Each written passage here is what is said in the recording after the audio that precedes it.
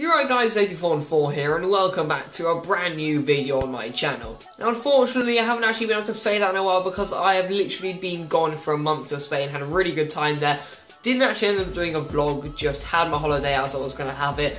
And uh, apologies for that in case you want to see a vlog, but I'm going to be back with the uploads now and this is where I need your help with. Now in the run up to FIFA 17, a lot of YouTubers find it very, very difficult to produce quality content. So I want your guys' help on what videos I should do. I already have a few stored up, but I want your guys' extra ideas on what I should do in the run up to FIFA 17. Now more about today's video, Premier League predictions. It is basically a video I do every year. I did it last year, and I'm pretty sure I got two people right, like two teams right, that was Stoke and Crystal Palace, I'm pretty sure. So I'm not very good at this, but I'm going to give it a go again. It's also always very hard to predict the Premier League. Like, who would have predicted Leicester coming first last year? I'm pretty sure no one would have, but we're going to jump into it today. Without any further ado, let's get cracking. So we're going to start off with 20th to 18th. These are going to be the three teams I believe are going to get relegated. Now in 20th, we are going to go with Sunderland. They've already had a really bad start to the season, and usually I wouldn't put them in the relegation zone because they're a team classically to stay up in the BPL. And now that Sam Allardyce has gone to bigger and better things, let's be honest, with the England job, um, Sunderland with their new coach, without Big Sam to keep them up, I can see them going down. They look like they have the weakest squad this season. Not enough top quality signings from them, so I can see them going down. Now in 19th we've got Burnley. Now they indeed didn't have the worst start to the season so far. Of course, I'm recording this on Friday afternoon, so match week three in the BPL where they're playing Chelsea. So Saturday's fixtures. I haven't seen them yet. Hopefully Chelsea beat Burnley, but enough about that.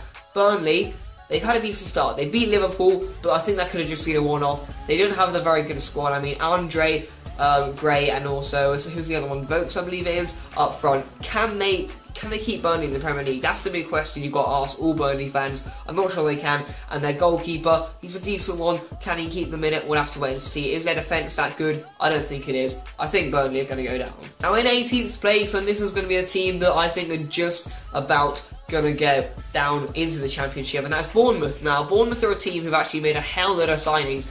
Are they top quality ones? No. Like, Jordan Ibe was meant to be their best transfer. He's done nothing special in his career. I mean, people think he's a young talented Englishman. How many times have we said that about a lot of English players? So I can't see them doing much this season. Again, I wouldn't say not enough signings, but they have made an absolute stack ton. So we'll see how Bournemouth do, to be honest. They really, really haven't had a good start to the season, but could they improve it? I'll have to wait and see. But in my opinion, I think they're going to go down as well. Now here we go into team 17th to 11 and starting off in 17th with Crystal Palace. Now after the departure of Yannick Bolasie, I cannot see Pardew's side doing a lot this season. Of course they have got decent talent, Bakary Sako, Zaha. Is it enough to really push them up to decent heights in the Premier League table? I don't think it is. They haven't had the best start and of course that major departure of Yannick Bolasie, I think it's going to keep them very far down the table. So 17th for me is for Crystal Palace. Now next up in 16th spot we have got West Bromwich Albion. Now, West Bromwich Albion are a team who they always seem to nick little results. They got Rondon up front, who we know is a great goal scorer. God knows what Berahino is going to do through his but if he gets back in form, they could do decent things. But again, I'm going to have to put them in 16th. They're such an average BPL team. I can't see them climb up the table, especially with some of the signings the teams above them have made. They haven't made enough top quality ones, and really, let's be honest, their squad isn't very good. Now, in 15th, we have got Hull City, the Tigers, the Legends, Everyone's loving Hull at the moment. They're the new Leicester boys. Not only did they beat Leicester, they went on to win their second game, and I can't remember who it was against now. Oh well. But anyway, they've won both their games. They're sitting third in the BPL table in Champions League sports. Imagine if that happens. Imagine if they actually go on to Leicester. I've got to put them 15th. It's realistic. And if I'm being honest, I think Hull City fans will be happy with that. They'll go into this season thinking, we don't have a lot of players in our squad. They're not top quality. We might go down here. We might finish 20th, which I think a lot of people would predict it. But after these two games that I've seen in the, in the BPL table, I think they're going to come 15th and not have a bad campaign. And in 14th, we've got Swansea City. Swansea City are another team who have made actually a decent amount of signings. I know they've got Llorente in. Unfortunately, they lost Andre Ayew to West Ham, but what can you do? Ayew's gone to West Ham. They have to think of new possibilities. They've got new signings in. But again, Swansea are a team that started off well Brendan Rodgers. People thought they were going to do good things, and they've kind of dipped in form. So we've got to watch out for Swansea what they do well or not this BPL season. Now in 13th, we have got Middlesbrough, the last of the promoted teams. I believe Middlesbrough are going to have a cracking season. They have made top, top quality signings. I mean, Negredo, Valdés, they've got Nugent in the club who already bangs in goals. They've got Rhodes who bangs in goals. They're making signings all left, right, and centre. Viktor Fischer. These guys are going to do big things. I know they are, and 13th is a decent spot for them. They've got a win and a draw so far in the BPL, so 13th is a realistic spot for them right now. That's what I'm going to have to give Middlesbrough. I have faith in them. In win 12th, we've got Watford, and I may just add that Chelsea just beat them the other day 2 1, which I was buzzing about. And I think that kind of proves Watford. They were 1 0 up in the 80th minute, and they let that slip. Their defence isn't that good. That's all there is to say about it. They have a lot of promise going up front. Capoue's got 2 and 2. Sorry, Mose. Capoue's got 2 and 2. Ighalo's got none, but he's still good. I mean, Ighalo, we know what he can do. He got Tots last year. I love Ighalo as well because he's just an awesome FIFA Tots card that I actually tended to pack. Also, Troy Deeney, another quality player that will get goals for them. They have a lot going forward. Their defence, who's their best defender? Like Prödl, he's not good enough to stop um, top quality BPL strikers. So I think 12th is a decent mid-table spot for Watford. In 11th, we have got Southampton. Southampton are another side that have not been doing too well this season. In fact, they've actually started off really far down it, but I think they'll uh, eventually regain their form. Should come around 11th. Shane Long should be able to get enough goals for them to actually keep them up in a decent spot. So I would think Southampton, they're another average team, but I think they are on the down at the moment, especially after Coburn left the club. So you know what, I'm, I'm going to have to go with Southampton to go with 11th. Rolling eyes, next up we are going to be going from spots 10 to 7. Now in 10th I've gone with Leicester City.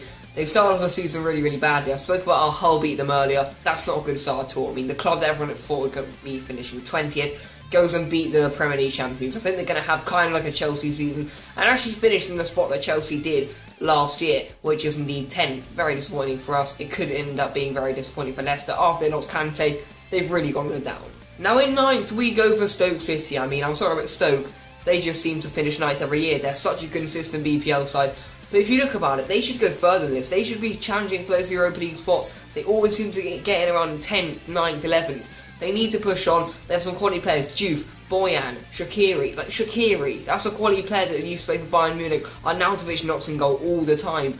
They have to find more form than what they're doing at the moment. They get too many draws, too many average results, and at the moment they're in a bit of a stalemate with their club. In eighth, we've got Everton. Everton are a team who I reckon who could hold on to Romelu Lukaku and can actually do great things in the future. Now, if they do hold on to Lukaku, who knows? They could really go into Europa League spots because he can knock in goals from all angles. He's a very inconsistent striker, but I mean, he just gets too many goals to turn him down. I mean, if Everton can keep hold of him, like Everton, the amount of clubs that would have wanted this guy, Chelsea want him back for like ridiculous prices. I don't want to pay that much for him, but still, he is at the moment in the transfer market this high up in price. I mean, he's so high up, like 75 million. It's getting ridiculous. They also have some top, top quality players, Mirallas, Naismith can get a goal here and there. I'm pretty sure he's actually Norwich now, actually, so maybe not Naismith. But they have got a few other little tiny players who I think can pick up Everton a few results. So 8th is not a bad spot for them, considering they had a pretty poor season last year. And with Ronald Koeman as a manager, they're on the up. Now in 7th, we've gone for West Ham, and West Ham are a team who, I mean, I thought they'd be doing fantastic this season, but they are going down. I mean, I'm they just went out of the Europa League and like they're not even into the group stages yet. They went out and qualified for the same team they did the year before. So West Ham are a club that have a lot of fixtures, a lot of injuries, but I think with time they can improve that once they get everyone fully fit. Carroll getting back in there, Enner Valencia, they can go up to like the spots like seventh as I'll put them. I think seventh is a good spot for West Ham. It's not Europa League, but you know what? It is a still a very decent spot for them, and they wouldn't mind it at all. Now in sixth and fifth, we have got Tottenham in sixth to begin with. Now, Tottenham are a team who actually last year finished third on the last match day. Probably should have finished second, but they didn't need to finish third. And Tottenham now haven't made a lot of signings. Who they signed? Victor Wanyama. That's it. I mean, that's not good enough from them. Yes, they have Harry Kane. Yes, they have Eriksen, and they probably don't want to kick out any of these players that did so well for them last year. You have to kick them out. Just build nice backup. I mean, there isn't really a player in this Spurs team that you think I want him out because they all played really consistently last year. But there still needs to be more improvements than just getting in Victor Wanyama. It's not good enough for me. Now in fifth, I've actually gone for Liverpool. Liverpool are a very odd team. They're very strange. They haven't won trophies in God knows how many years. But I don't know. Under Jurgen Klopp, they can all of a sudden just beat Barcelona and bloody Arsenal, scoring four goals against each of them and then they go and lose to Burnley. So this is where Liverpool comes in. They're such a strange team. Because of how many wins they get against the big teams, I'm going to have to put them in fifth, which is much better than what they got last year. What did they get, like eighth or ninth? So for them to finish fifth, I think would be very good. and get them in Europa League again. So yeah, I think Liverpool in fifth is not a bad spot at all for them. You know, they will they will take it, I reckon. With the squad they have, it's not as developed as some of the top four teams like Man City and Man U. So I think they'll take fifth, and fifth is a good spot for them. Now in fourth, we have gone for Arsenal. Arsenal are a team they don't make signings. They literally don't make signings. They made Jurgen Xhaka and they've stopped there.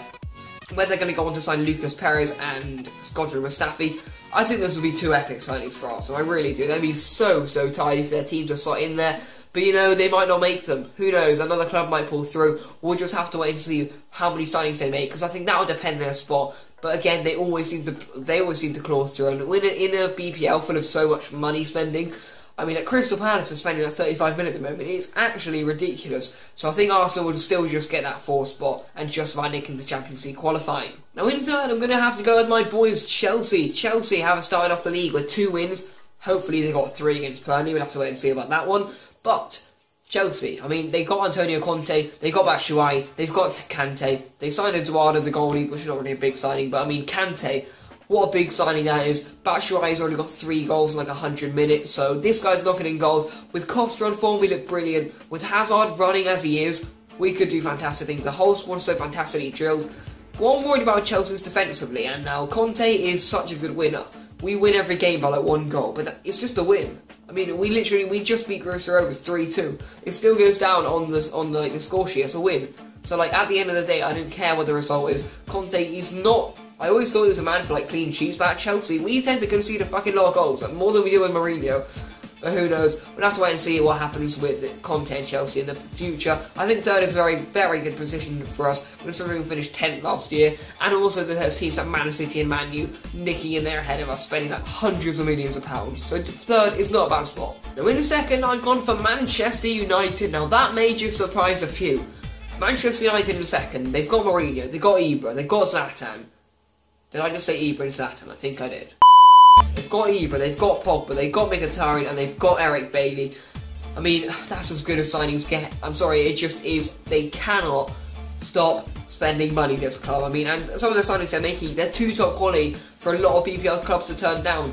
But Mourinho never really does seem to win in his first season at clubs. And Man U may just slip halfway through the season. We'll have to wait and see whether they do or not. But who knows, they may actually end up doing it. And it wouldn't be bad at all. So that leads us on to our next team, and that is Manchester City, who are going to be finishing first. Now, Manchester City are another club who have made a ridiculous amount of signings. Gundogan, they just signed Bravo, Leroy Sane. I could go on with this list. I mean, too, there's too many good players in there. And Guardiola's the manager, and Aguero scoring goals. David, David Silva assisting with De Bruyne behind him. That is too stacked. Kompany and Otamendi in defence. I mean, it, it's honestly too much for me to take in. They have too many world class players. They've signed John Stones, like one of the best young centre backs. They will not stop making top quality signings, and also they have the manager and the philosophy to do it. They have brilliant players to back up anyone that gets injured. Like if Silva gets injured, I don't worry. We'll bring in Navas, we'll bring in Gundogan, we'll bring in Fernandinho, Toure. Fernando. They won't stop with absolutely world class players in literally every single position. So I think Man City are going to come top of the league. Man U just behind them, probably by like two or three points, probably. Just by a win, I reckon Guardiola would just nick over Mourinho this year. So then, my friends, those are my Premier League results. I've topped Man City to come first, and I'm also thinking that Bournemouth and also Burnley and also who's the, who's the last one? Oh, Sunderland. I also think those three are going to go down, so I have to wait and see what happens there. But now I'm going to do is talk about who I'm going to who, I think is going to win the other four top leagues in Europe. So let's go on to it. Now in Germany, it's going to be only one answer for me: Bayern Munich. Dortmund do have a decent chance there, but now that they've lost Hummels, I think their defence is too weak. Yes, they made good attacking options with Schürrle and Götze, but Bayern are too strong with Lewandowski, Boateng, Hummels, the list goes on. Now in Serie A, I'm going to have to go with Juventus again. I cannot see anyone else beating them to it. They've made a record like paying signing of Higuain for like 90 million. People say on how he's going fat. That guy scores goals for a living. It's too much of taking. Imagine him and Dybala up front. Argentinian strike force for days.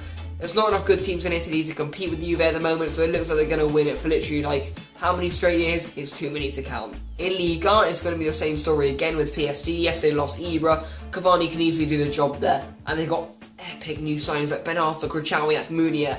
They're very good players, so I think PSG will again nick Liga and by a very large amount. And then finally in La Liga, probably the next closest um, league in Europe um, to, La Liga, to the BPN actually that's actually good and competitive because there's three teams who could easily win it every year. Barca, Atletico, and Real. I'm gonna have to go with Barca again. I tip them every year. I think any team with Messi's Forest name on deserves to win the league, and not only deserves it, but will get it. Real haven't made enough quality signings. Yes, they brought Morata back. Yes, they brought Asensio back. but they're not like they're not Andre Gomes, they're not Umtiti, I think it's a fantastic signing by the way. So I think Barca will win La Liga yet again, and I hope they do. But yeah guys, that is indeed going to be the end of this video. If you enjoyed it then leave a like on it. Make sure to leave in the comment section down below who you think is going to win the BPN and also the top four domestic leagues in Europe. But for now, it has been 84 my first video back from a holiday. Peace out.